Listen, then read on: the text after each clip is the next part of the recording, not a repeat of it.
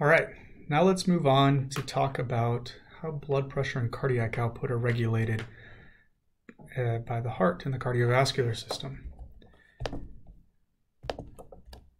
So, if you remember, one of the things we're talking about, uh, one thing I want you to keep thinking about throughout the semester, and as we talk about the cardiovascular system, is why is VO2 max so drastically reduced in patients with heart failure? Now, we have the Fick principle that we've talked about a few times. Fick principle says VO2. We can put a little dot over here. That there should be a dot. It's just PowerPoint doesn't make it easy to put dots. So the VO2 uh, at any given time can be calculated as the product of cardiac output times the difference in arterial and venous oxygen content. So you see how much oxygen is in the blood in the artery and then how much is left in the vein once it goes past the muscle. You multiply that difference, how much is missing, by the cardiac output, and you can measure how much oxygen is being consumed. Now, this CaO2 this is the one it had a really long equation where you had to know total concentration of hemoglobin times 1.34 times percent sat over 100 times PaO2 times 0.003. Remember that one? My lovely handwriting. So that's what we're calculating here with the CaO2. If we want the CVO2, we just take the hemoglobin concentration in the vein, which should be the same, times the saturation in the vein and the pressure in the vein. That's it. That's the only difference. So the question is, why does cardiac output drop during uh, during heart failure? One obvious answer, or why does VO2 drop, is, one obvious answer is cardiac output. It is heart failure, right? We got this upset heart over here, exhausted. It can't pump as much blood.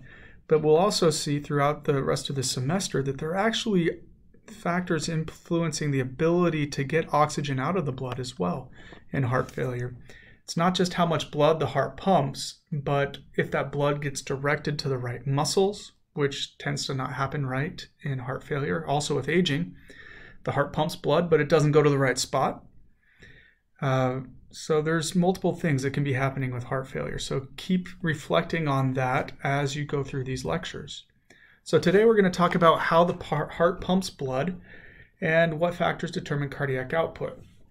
Uh, the thing I've chosen for you to to like emphasize a million times is this equation.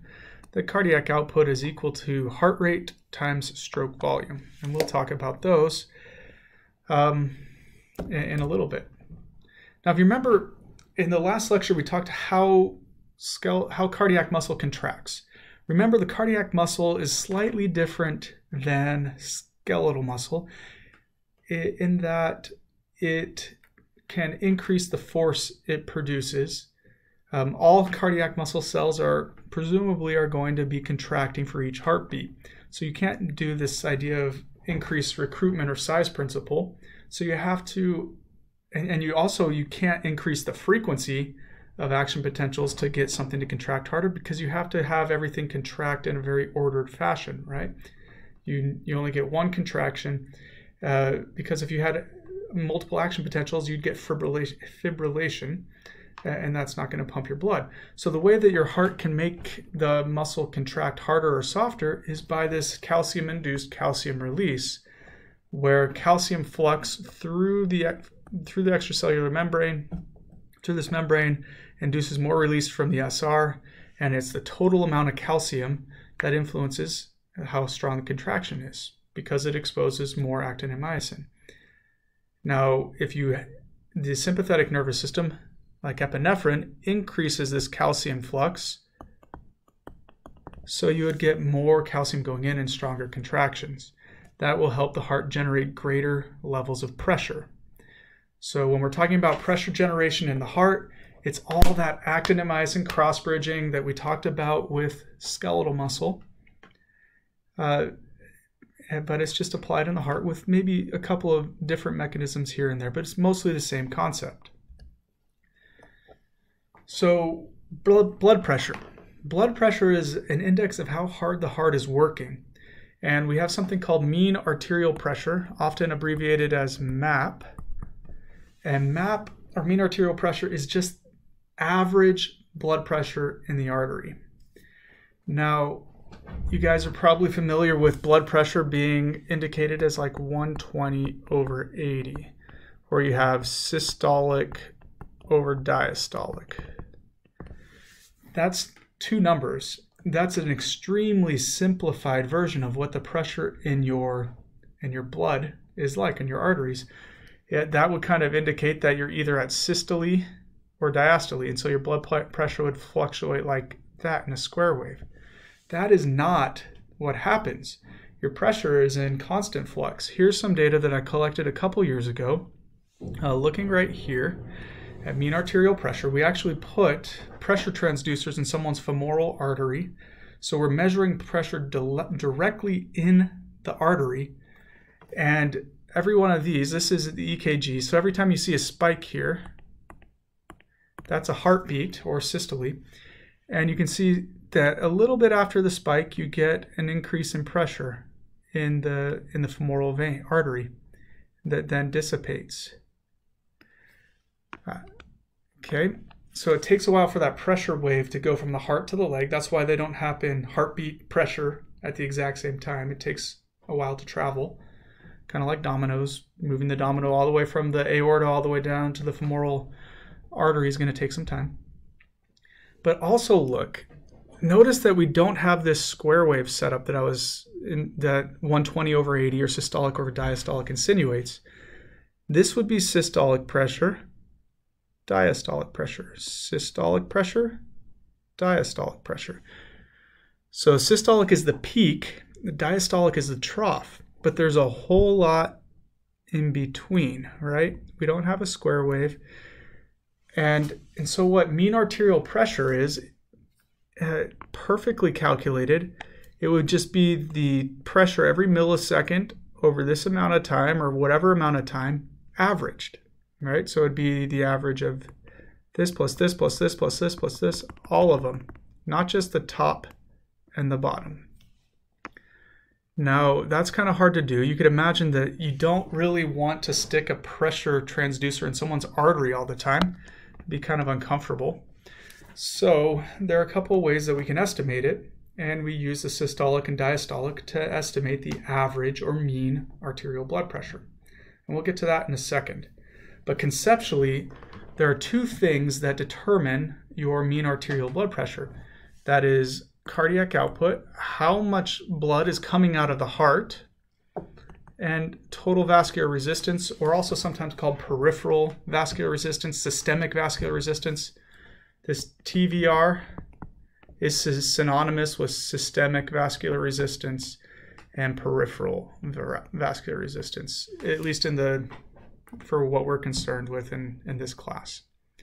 All right, so cardiac output times the resistance, how much uh, the arteries are squeezing, really, or resisting the increase in flow. If we were trying to simplify it down, which factor would be which, the cardiac output is going to have a more direct factor on the systolic pressure, while the vascular resistance is going to have a more direct fact, effect on the diastolic pressure. Uh, there's considerable overlap where total vascular resistance will impact systolic pressure and cardiac output will impact diastolic. But conceptually, the resistance or how much the arteries are squeezed, right? Your arteries can dilate or constrict the more constricted they are, the more resistance. Uh, the more resistance, the greater the blood pressure, and most likely you would see that as an increased diastolic pressure. So conceptually, these are the factors that influence, uh, that are going to influence mean arterial pressure, cardiac output, and total vascular resistance. Now, we, as I mentioned, we estimate, can estimate systolic or mean arterial blood pressure at rest by using our diastolic and systolic pressure. If you remember from our last uh, our last discussion, diastolic pressure is where the heart spends most of its time, diastole, at rest, about two thirds of the time. Now, eh, at rest, only about one third of the time is in systole. So, what you do to, cal- to estimate mean arterial pressure or average arterial blood pressure at rest, you take your diastolic blood pressure, so this would be like 80, and you, then you add the systolic 120 minus the diastolic 80 divided by 3. And the whole point of that, dividing by 3, is because this part represents systole. And you're only in systole for about a third of the time. Uh, the rest of the time you're in diastole. And so diastole gets a bigger contribution to that equation. As I mentioned in the previous slide, that this cardiac cycle with systole only making up a third of the cardiac cycle, that's only really good at rest. During exercise, a really intense exercise, systole will make up 50% or maybe even a little bit more of the cardiac cycle. So this equation that you learn in all your physiology labs or in textbooks, this is good for rest. Uh, there are other equations that you would want to look at for exercise. And a lot of times they'll just, instead of dividing by three, they'll just divide by two in those equations. But it's always an estimate. Measuring this way with catheters directly in the artery is the gold standard, but obviously you don't want to do that every time you go to the doctor's office. All right, so what factors are going to determine this blood pressure? As I mentioned, mean arterial pressure is the product of cardiac output and total vascular resistance. So what factors influence cardiac output? Cardiac output itself is equal to heart rate and stroke volume. So how many times the heart beats per minute and how much blood is pumped out with every beat. Those two things will tell us what the cardiac output is.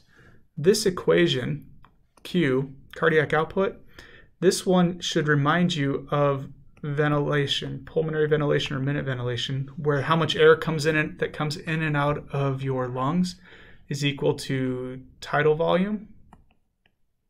Wow, what'd that do? Tidal volume times the breathing frequency. All right, so our heart rate is equivalent to breathing frequency and tidal volume is equivalent equivalent to stroke volume, right? So that's how we're calculating how much blood the heart pumps every minute. So mean arterial pressure is by definition is going to be influenced by heart rate and by stroke volume. And we'll talk more about that equation in a second. Now, total vascular resistance or systemic vascular resistance, uh, resistance of any kind, we could really even just simplify this down to just say resistance. Resistance is going to be the product of the viscosity of the blood times the length of the the circuit the tube that it has to flow through divided by radius to the fourth power. Now, let's make a quick connection here. This equation is just the inverse, part of the part of an inverse of part of Poiseuille's law. Remember this I can't spell it. We'll just anytime, here's a secret to success in life. Uh, when you don't know how to spell something, just kind of scribble it. Do the first two letters and then just scribble it. Doctors do it all the time. It's fantastic. All right, so Poiseuille's law says that flow is going to be equal to the change in pressure times pi to, times r to the fourth over 8 n L. So resistance is really just the inverse of these where we now have, let's just move it up here, now we where we now have radius is on the denominator now. So what this means is the radius, the more dilated your arteries are, the bigger this number is going to be in the denominator. The bigger the number in the denominator, the lower the resistance, right? So dilation is going to have a huge impact on how much resistance there is, and resistance has a huge impact on mean arterial pressure. So if your artery is really small like this, it's not gonna, as you're gonna have really high pressure. But if your artery is dilated like this, you're gonna have low pressure. Now, let's let's take a second to catch up and try and apply some of these things. Let's this is an example of like a, a test question. Which of the following would not contribute to an increased mean arterial pressure. So if we increase heart rate, is that going to increase mean arterial pressure? Remember, mean arterial pressure is equal to Q times vascular resistance we'll just put systemic vascular resistance. I think actually in the last one I had total vascular resistance. Not going to make a difference for our class. There's subtle differences in those definitions, but anytime you see resistance, just consider it all the same for this class, okay? When you go to med school, it'll be a little different story, but I don't want to complicate things right now. All right, so MAP, Q times total vascular resistance, Q is equal to heart rate times stroke volume. All right, so if we increase the heart rate, that is going to increase cardiac output, which would increase MAP.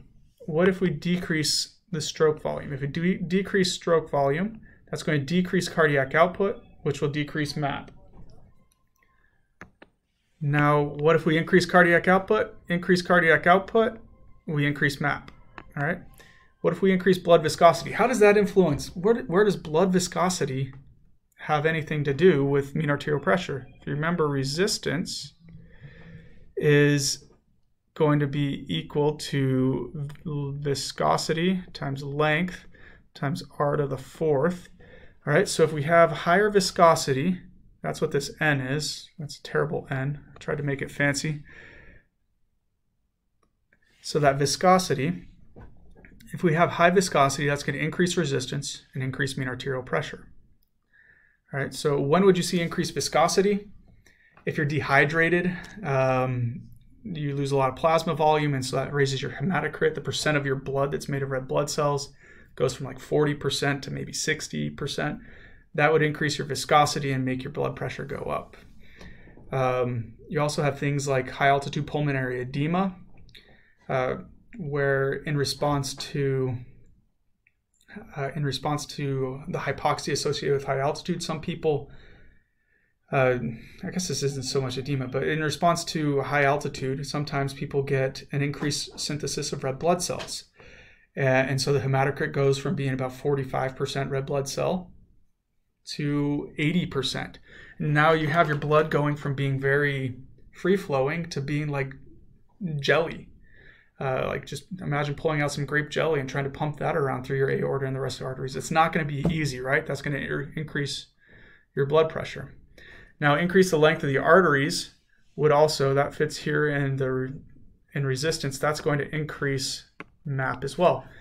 Uh, the length of the arteries, I've never been able to think of a scenario where that's really going to change acutely. Uh, you might have something going on with growth, uh, getting older, but uh, not so much uh, in, in, terms of exercise or even exercise training. So, which of these factors are going to potentially change during exercise training? Heart rate definitely goes up during exercise training. Stroke volume goes up during exercise training. Cardiac output is changed during exercise training. Uh, like just short duration exercise. Blood viscosity, if you get dehydrated during the exercise, that might go up, but it's not going to have a huge impact, but it can change. The length of the arteries, not so much. This, the radius, that is going to change a ton during exercise, and that accounts for a lot of the change in mean arterial pressure during exercise. All right, we've kind of hinted at it. What factors influence cardiac output? So cardiac output is the product of heart rate times stroke volume. This diagram illustrates some of the factors that are going to influence your cardiac output, and we're going to dissect it little by little. When I think of cardiac output, uh, I like to explain it in terms of pumping up a basketball. Uh, so in this scenario, your heart is a pump. That's all it is. It's just a, a fancy pump. Uh, so we have a little hand pump here that would be the equivalent of your heart. Okay. And we're trying to pump up a basketball. The air coming out of the pump would be similar to the blood, right? So cardiac output is going to be equal to your heart rate times your stroke volume. How much air is coming out of the pump every minute is going to be equal to the stroke volume, how much air comes out of the pump with each beat or each pump, and then how many pumps you do every minute. That's going to determine your cardiac output. What factors influence these things? Heart rate is strongly influenced by parasympathetic and sympathetic activity. Remember, sympathetic acti- activity starts to depolarize the membrane potential towards threshold, so it takes longer to get, takes less time, sorry, takes less time to get to a heartbeat, uh, so it increases heart rate. Parasympathetic activity hyperpolarizes you away from threshold, so it's going to take longer for your heart to beat. Now, what factors influence uh, influence these different things? Um, one of the things that you're often familiar with, uh, people coming in a lot of times know, all right, if I'm exercise trained, I'm going to have a lower heart rate at rest. Why does that happen? Now, with exercise training, what's going on is cardiac output at rest is going to stay pretty much the same. So you know heart rate is going down at rest with training, right? A fit person might have a heart rate, resting heart rate of about 60 beats per minute, maybe a little lower, maybe 50. Uh, elite level people, even less. But if cardiac output stays the same, what does that mean? With a less heart rate, stroke volume must be going up. So what happens with exercise training is you get a bigger pump. Instead of using that puny little hand pump, now you have a pump that is filled with a lot more blood. So every time you eject blood, you're ejecting more blood with each beat. So it takes fewer beats to get the same volume out. That's why resting heart rate goes down with endurance training. But max heart rate doesn't really go down all that much. Um, so here, here is what we see. Like an untrained person, you might see a resting heart rate of 70, 75 beats per minute. Um, stroke volume at rest 70, 60 milliliters per minute. The standard cardiac output at rest is usually considered about 5 liters per minute. Now, if you endurance train, uh, the resting heart rate decreases as we mentioned. Now we're looking at 50 instead of 70, but the stroke volume has increased, so we're keeping about the same cardiac output. But what about exercise? And so now we're going to look at these numbers for max exercise. Max exercise, untrained person, max heart rate's about 200 beats per minute for a young healthy individual, rough estimate. If you go through eight weeks of endurance training, your max heart rate either is unchanged or it goes down slightly. Here they've gone with an exaggeration. Usually you won't even see a 10 beat decrease in max heart rate but that that's the right concept, right? You you're not going to get an increase in max heart rate. It it stays the same or maybe goes down slightly. Why? Um, we you don't have to change it. Most of the changes are going to occur in your stroke volume, right? So let's let's look at the cardiac output. So max cardiac output for an untrained male is about 22, female about 18 liters per minute. If you're endurance training, you can get up to the 30s. Um, you can. The, this is a ridiculously high cardiac output of 34 liters. That's like elite level. This isn't just trained, right? So this would be like uh, your your world record holders in, in marathons and cycling. That's what they're pumping out, right? But they're doing it with fewer beats per minute, right? The untrained person gets 200 beats per minute but the trained person only 190, and they get way more blood out of that heart because they're pumping way more blood out with each beat. The reason they do that is they've gone from having a little Grinch sized heart to with endurance training, now their heart is huge. Wow. Uh, a big heart, all right? So the size of that left ventricle that's pumping the blood has increased, and so they can pump more blood with fewer beats. So that's what's happening with cardiac output. So, what influences heart rate? We talked about it a little bit already. Parasympathetic, sympathetic activity is going to influence heart rate. You have sympathetic nerves going on to the SA node, a, uh, parasympathetic nerves as well, and they're either going to hyperpolarize, parasympathetic hyperpolarize, or sympathetic depolarize. Right? So this would parasympathetic down, this would be an example of positive ions out and going, the sympathetic stimulation is going to result in positive ions in to depolarize you, right? So epinephrine is going to bind to receptors, and that's going to allow calcium and other positive ions to flow into the cell and get you closer to threshold. Acetylcholine will bind to receptors on the SA node, and it's going to hyperpolarize. The acetylcholine opens up channels that allow positive ions to flow out and negative ions to flow in. It hyperpolarizes you. That's your primary influence on your heart rate. Now, as I mentioned before, if we take your heart out of your body and disconnect all the nerves, you're going to have the heart still beating. It has its own rhythmicity. It lets positive ions into the heart, into the SA node all by itself. It's naturally leaky. And that'll happen at about 100 beats per minute if we take out all nerves the heart will beat 100 beats per minute. So right now you're watching this video, you're probably falling asleep and your heart rate is probably somewhere around 70 beats per minute. Um, that means that you have parasympathetic activity inhibiting you or slowing down, hyperpolarizing the action potential, the membrane potential to slow down your action potentials in your heartbeat. Now, when you start to exercise, you're at, at rest, you're hanging out right here at 70 beats per minute, let's say. When you start to exercise, the first thing you got to do is take away the parasympathetic activity. So, parasympathetic activity is like the brake. Um, you take your foot off the brake, remove the inhibition by parasympathetic activity, and then you start hitting the gas with the sympathetic activity to spin, speed up. So you have two things this competition between parasympathetic inhibition and sympathetic stimulation controlling your heart rate.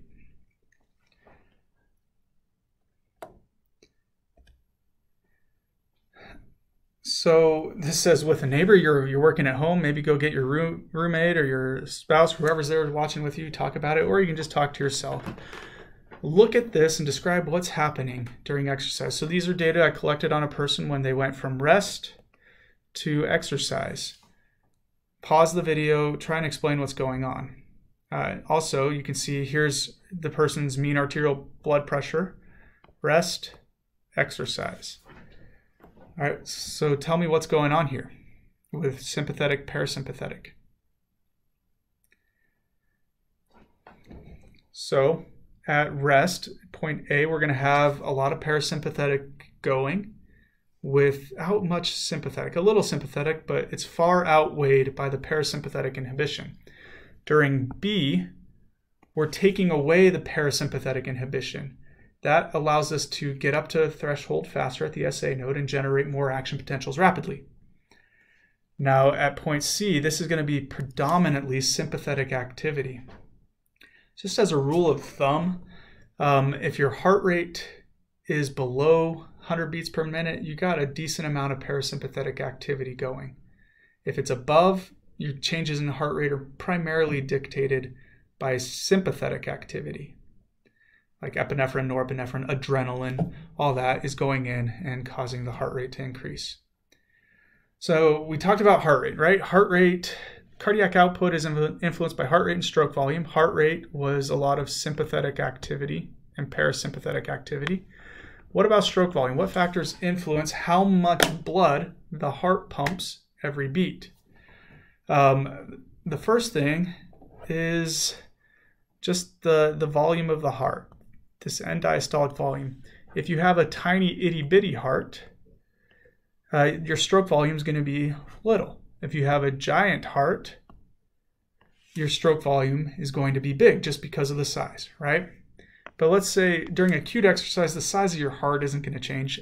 Endurance training, growth, puberty, all that stuff increases the size of your heart. But let's just say you go from sitting on your chair to exercising. How are you increasing cardiac output? Part, you're increasing heart rate, but stroke volume also increases. So we're now going to talk about what factors influence stroke volume. Now, the first thing that influences stroke volume is preload. Um, and that's going to come in on this stretch. I like my, my summary a little better than the textbook. So regulation of stroke volume, preload, or end diastolic volume, I guess that's a little bit better. End diastolic volume, how much blood you have in the heart at the end of diastole, that is going to determine how much you can eject. You physically you cannot eject more blood than is in the heart to begin with, right? So you one goal during exercise is to get as much blood back to the heart as possible so it can pump out more blood. Now, it's not just that having a greater volume equals a greater amount that you can eject. Um, it's not just a linear relationship. If it was linear, it would look something like this, where for every given increase in end diastolic volume, you'd have a predictable, very linear increase in stroke volume. That's actually not what we see. We actually see this curvilinear relationship here that at least at the initial spots, you're getting a greater than linear increase in a greater than expected increase in stroke volume for an increase in diastolic volume. So you fill up the heart a little bit, you get a little strong contraction. You fill it up a little bit more, you get a way stronger contraction and eject more blood. Uh, why is that? Well, what happens is something called the Frank Starling mechanism. Uh, this thing over here, Frank Starling mechanism. And it all comes back down to the optimal length and overlap of those sarcomeres. Uh, so you remember the, the muscle fibers, they're, they're going to have actin and myosin, and the better they overlap, the stronger you can contract. When you are increasing your volume in, in this range, you're you're going going from 100 to 200 you're improving the overlap so that you have all the actin able to connect with myosin and vice or myosin with actin and so you have all cross bridges complete and you get a way stronger contraction. If you're at more than optimal length so here's like a sarcomere this would be optimal length where we get a lot of good overlap here so we get a lot of connection between actin and myosin. Let's say that you're way too stretched. Now we only get a little bit of overlap between myosin and actin, and so you don't get a forceful contraction. Uh, so the Frank Starling mechanism, returning more blood to the heart, improves that overlap so you can get stronger contractions, and that increases your stroke volume. So what factors affect venous return or that preload, right? Venous return, remember venous return, preload, how much blood to your heart influences that optimal length. So now we're going to talk about what factors influence venous return. So venous return can be influenced by three things. We'll have venous constriction, muscle pump, and the respiratory pump. Um, the veins, especially in your legs, the veins are very distensible. They're stretchy. They're called capacitance vessels, meaning that they can stretch and hold increasingly greater volumes of blood. Um, if you're just standing there not doing anything, those veins are going to fill up and distend, and you'll have a lot of your blood volume just trapped in those in those veins in your legs and in your in your gut and your viscera and all that. So one thing that you can do to improve venous return is make those veins stiffer, make them contract so they're not holding as much blood. Right? So let's say at rest this is your vein, you're filled with red blood cells then you stand there in place without contracting, the vein is going to expand and get way bigger, and you have more blood trapped in there. Blood that's stuck in the vein is blood that can't get back to the heart, and that means less venous return, less stroke volume. So, what your body does is it causes venoconstriction, and now it forces that vein to be smaller. Smooth muscle in the vein contracts, and returns that blood back to the heart so it can be used. So your veins kind of look like a, a little reservoir of blood where it's storing blood that it can use for later to increase venous return and stroke volume. Uh, the reason I have these compression socks on here, um, individuals with heart failure especially, uh, left heart, right heart failure, uh, they tend to get edema or pooling down here in in their legs. So you'll see the legs swell up. That's called edema. Now, part of that edema is going to be because they have a huge amount of blood volume getting trapped there in the legs. Um, the heart isn't able to accommodate much blood flow, and so it get it gets all backed up and gets stored back down in the legs. And the more you store in those veins, the more likely it is to go out into the extracellular fluid and make your legs swell and get bigger. So these compression socks keep they act as almost venoconstrictors. They keep the veins from expanding and make it so that you can return more blood to the heart.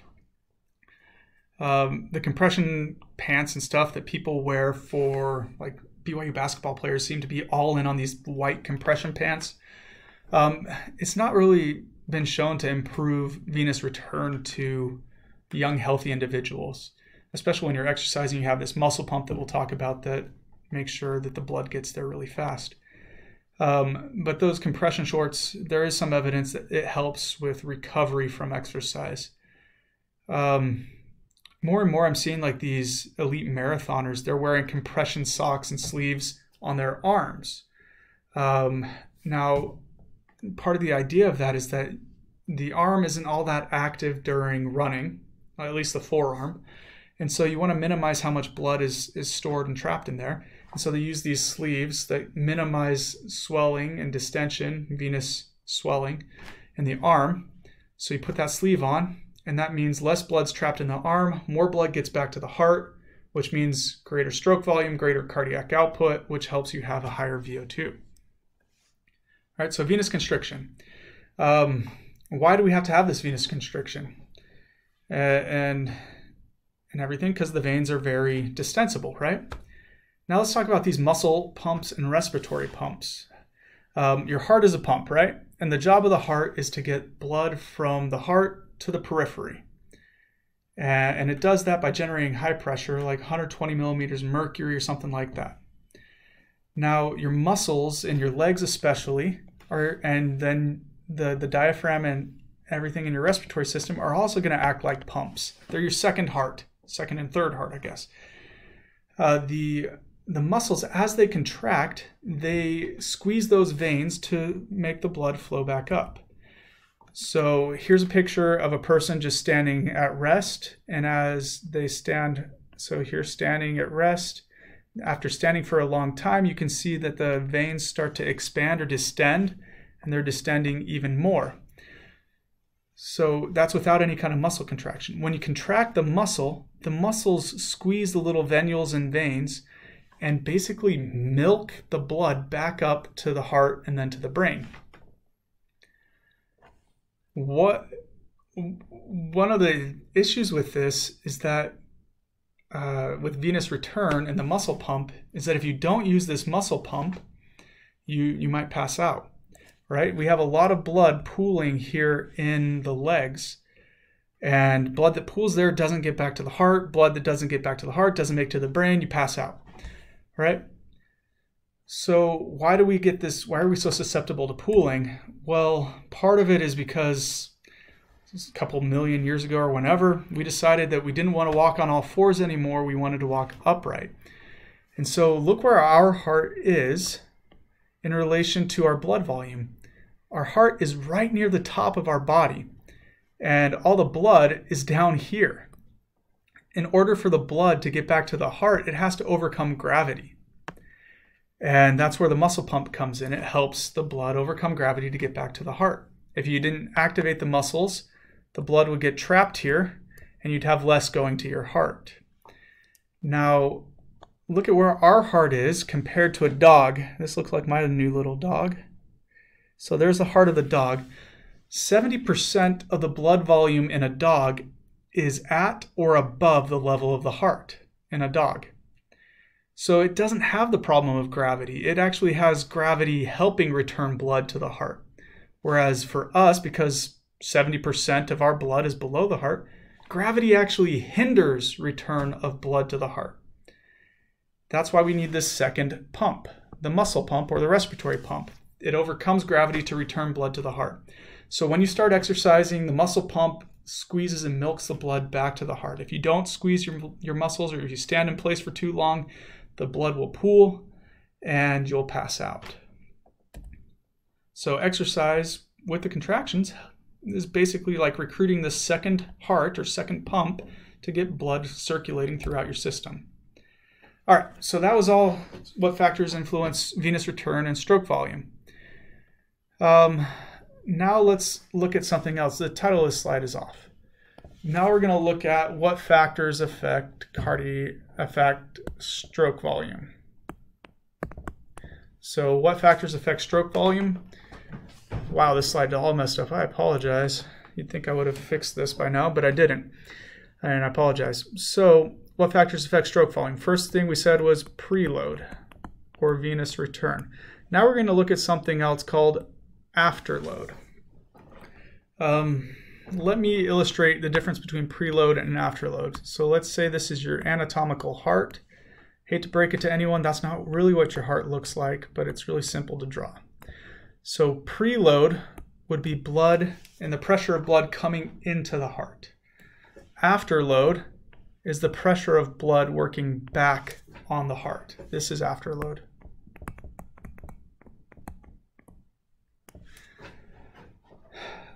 So you guys are familiar with afterload. Uh, if you've ever pumped up a bike, pumped up a basketball, here we're going to illustrate basketball. The first couple of pumps when the ball is flat are really easy, right? It's not hard to push the air into the ball because there's not much in there. But when you get to where the ball is really pumped up or your tire is really pumped up, uh, it, you have to push really hard to get that air to go into the ball or into the tire. That the reason you have to push really hard is because there's a really high pressure in the ball or in in the tire. The higher that pressure, uh, the higher a pressure you have to generate in order to get air to flow that way. So afterload is the pressure of the air acting back on the pump. Afterload in the heart is the pressure of blood in the arteries working back on the aortic valve. In order for this little valve right here to open, the pressure in the heart, let me change colors. Again, I don't know why it does that. You get to see all the slides as a sneak peek. The pressure in the heart has to exceed the pressure in the blood. All right, so pressure here must be greater than the pressure in the ball, or pressure in the heart has to exceed the pressure in the artery.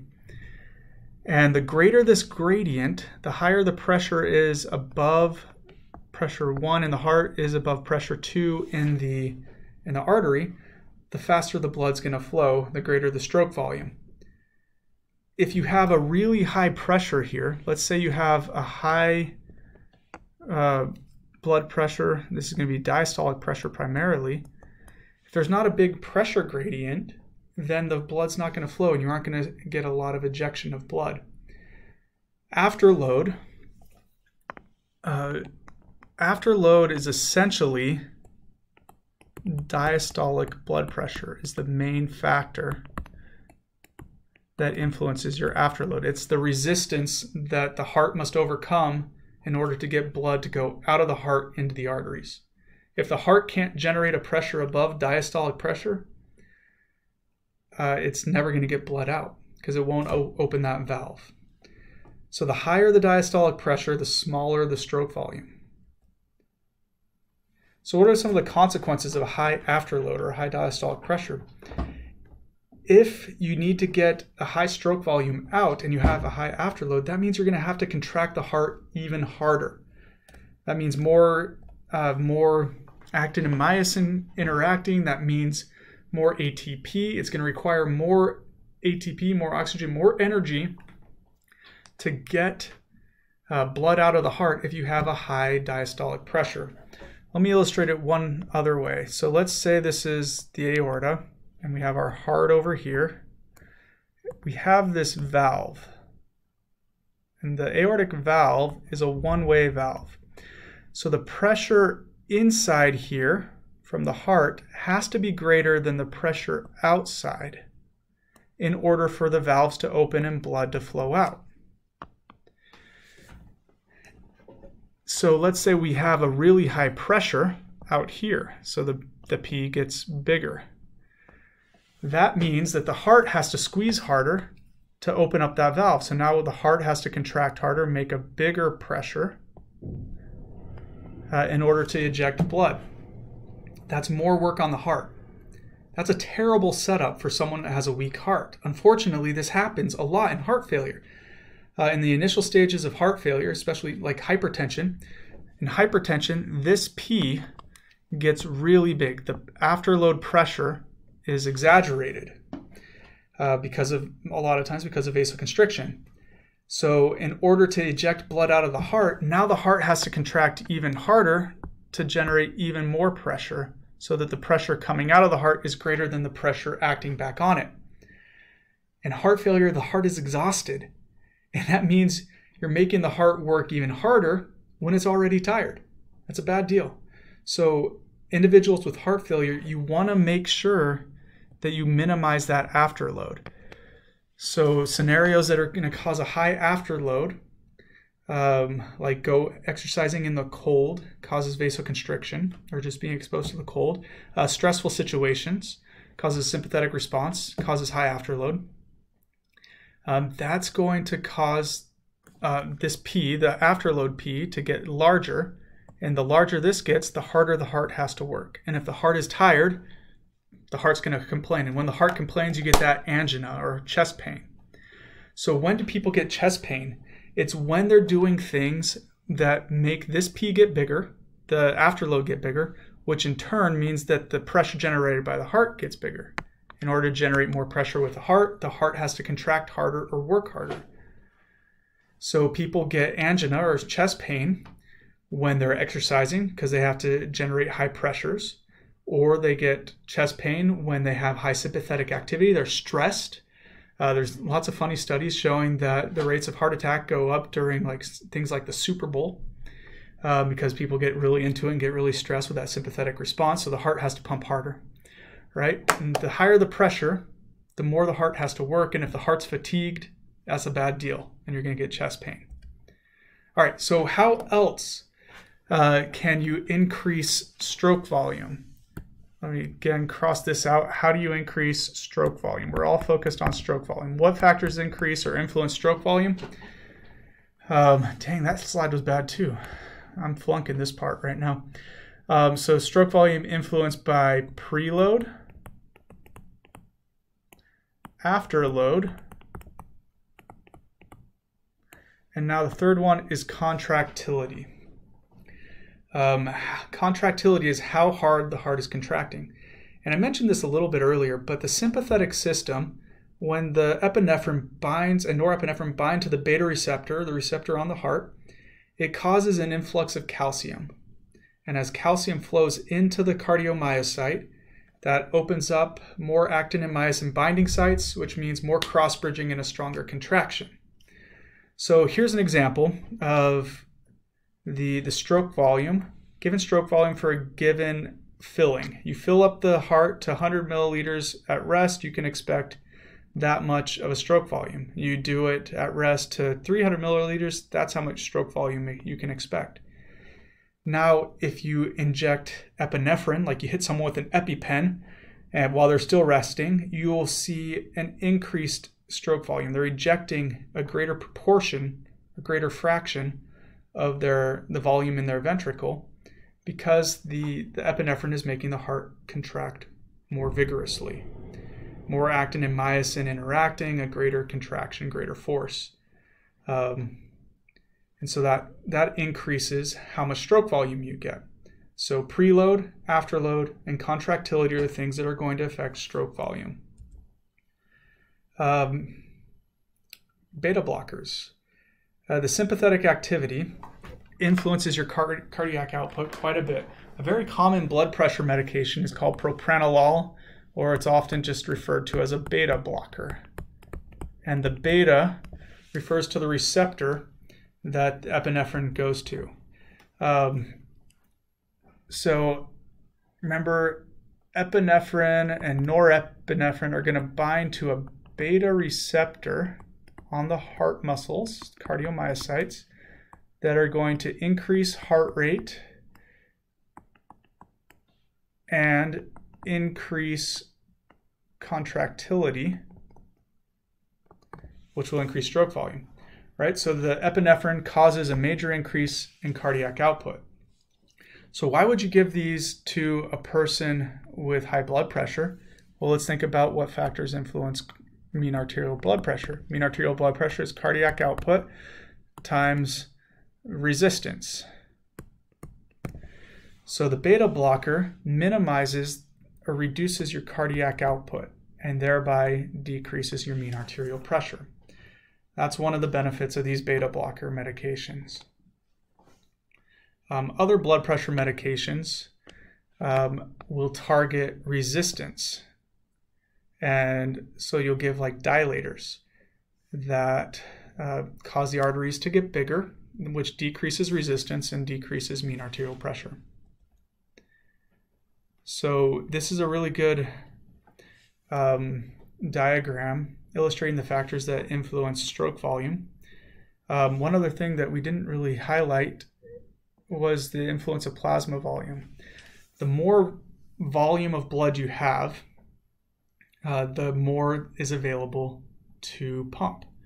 Uh, so we can increase your stroke volume and also increase your blood max blood pressure. We can increase even your VO2 max if we just load you with a little more plasma volume. If we inject saline into you, uh, we can increase how much volume of blood is in there, and that'll allow your heart to pump a little bit more blood every minute. Um, what do I? So let's just make one more connection. All right. Um, so we've talked about cardiac output is equal to heart rate times stroke volume. Remember, VO2, oh, come on. VO2 is equal to cardiac output times arterial venous oxygen difference. So anything that's going to increase your ability to pump blood, increase your cardiac output, can potentially increase your VO2 max. If you decrease peripheral resistance, that will increase stroke volume, which will increase cardiac output, which may potentially increase VO2 max. If you, if you plasma volume load, uh, that means put in a little extra saline in there essentially uh, in the blood. That can increase your stroke volume and potentially increase your cardiac output, which can potentially increase your VO2 max. Now, the problem with plasma volume loading is that as you put in more saline, you're diluting the arterial oxygen content, which is going to decrease your AVO2 difference. So there's a very fine balance if you want to increase uh, blood volume by plasma, like by injecting saline. Uh, you're, it's only going to help you for a little bit before you're starting to dilute the red blood cells too much, and then it actually can be detrimental. All right, so how does the heart change with exercise training? let's wrap this up. This one's getting long here. Uh, hopefully you've been able to pause and go eat some some carrots or Twinkies or whatever you have in your fridge. Um, I apologize for how long this one is. So again, let's just pretend like your heart is this pump, right? You have two types of hypertrophy in the heart. One is called eccentric hypertrophy, and that is where the volume or the size of the ventricle gets bigger and the walls get maybe a little bit bigger, but not that much. The main adaptation to eccentric hypertrophy is an expansion in the size of the ventricle. This happens because of a volume overload. Volume overload is where you have a high preload, a lot of blood returning back to the heart. That's stuff that you see in endurance training, right? As you endurance train, you have that muscle pump, you have venous constriction, it's returning blood to the heart really quickly that volume stretches the heart, and as it stretches, it's signaling over time for the heart to remodel outward and expand. This is eccentric hypertrophy. You know, that is why this eccentric hypertrophy is why your endurance athletes have such ridiculously high cardiac outputs because they have big hearts. Now let's look at the other type of heart adaptation, and this is concentric hypertrophy. Now, the size of the heart if we were to look for, at it from the outside, probably hasn't changed all that much with concentric hypertrophy, but the walls get thicker. And as the walls get thicker, it comes at the expense of the size or how much volume the inside of the ventricle can accommodate. Um, it's it's not going to be able to pump as much blood. In this scenario, stroke volume is actually going to go down. The end diastolic volume, how much blood fits in there, is reduced, and so your stroke volume can decrease. Why on earth would you ever have this kind of inward remodeling? Why would it go that way? Um, because of pressure. This is a pressure overload. Afterload, high afterload causes the heart to have to contract harder to get blood out. And so over time, as the heart is trying to contract harder and harder, it decides to remodel by having bigger and bigger muscle and a thicker wall to generate higher pressures that high pressure comes at the expense of not being able to have as much volume in there. So, eccentric hypertrophy is the most beneficial kind in terms of endurance exercise, and this is what we typically see with aerobic training. Very clearly happens with aerobic training. Um, most of the time with strength training, you'll also see maybe a little bit of this eccentric hypertrophy. every once in a while with strength training, you might see uh, concentric hypertrophy. When you strength train, blood pressure skyrockets. If you're doing a deadlift, your resting diastolic pressure can go from 80 millimeters of mercury all the way up to like 250 or 300 millimeters of mercury. Really high pressure, a high afterload. And, and so the heart can adapt to that afterload if it's stimulated frequently enough by increasing the thickness of the wall to, to generate more pressure. Um, that can happen sometimes with strength training. It's not a given. Um, in fact, most of the time with strength training that most like recreationally active people do, you're going to see the volume overload. When you do see uh, pressure overload and concentric hypertrophy, is almost always with hypertension. Uh, high blood pressure, that means the heart has to pump against a higher pressure every beat, all day, every day. And so it adapts by getting a thicker wall to, to accommodate that need for high pressure. And so people that have hypertension will often have concentric hypertrophy, which uh, isn't that great of a setup for them uh, because along with their hypertension, they also tend to have poor oxygen delivery. These little blue things would represent arteries. They have poor oxygen delivery in the muscle, so they can't deliver oxygen to that muscle, uh, and it starts to necrose or die. So, at the early stages of heart failure, like the first step often is hypertension leading to concentric hypertrophy. The wall thickens but it comes at the cost that they can't supply that wall with all the blood and oxygen it needs all the time, and so it can atrophy. Here's another look at this. Uh, so here's your normal heart. If you do anything like bed rest, uh, if you get stuck inside with the coronavirus all week and you're not, or for several weeks and you're not exercise training, the heart can actually atrophy. The size of it will decrease, uh, kind of like the Grinch, I guess. Um, if you exercise train, especially endurance training, you'll see this eccentric hypertrophy where the ventricle has gotten bigger, the space inside is bigger, and the walls are slightly thicker to generate higher pressures as well. Um, if eh, that's also accompanied for pregnancy because you have an increase in blood volume and you have to pump blood to uh, the baby as well. Uh, hypertension, uh, myocardial infarction, all these other things, cardiovascular disease, results in this pathologic hypertrophy or concentric hypertrophy, uh, where the wall has gotten really thick and the size inside of the ventricle has shrunk. And that's a problem because now you have less blood to eject. The other problem here is, uh, like with a myocardial infarction or a heart attack, uh, that means you have some kind of blockage here. So let's say you have an artery that supplies all these little muscles here in the heart if that artery is blocked, no blood gets to it, and eventually that heart muscle is going to necrose or die. And if it progresses long enough, this hypertension, myocardial infarction, heart failure, or all these heart diseases can lead to a thinning of the wall because the, the muscle is just dying. And now it has a ridiculously thin wall and it can't pump out blood anymore. It does it's too thin to generate a pressure to eject blood and that's heart failure. All right. So what happens to the heart with exercise training? Heart rate uh, let's see here. What's happening to heart rate? Uh, we have on the x-axis here, this is VO2 or exercise intensity, and then heart rate.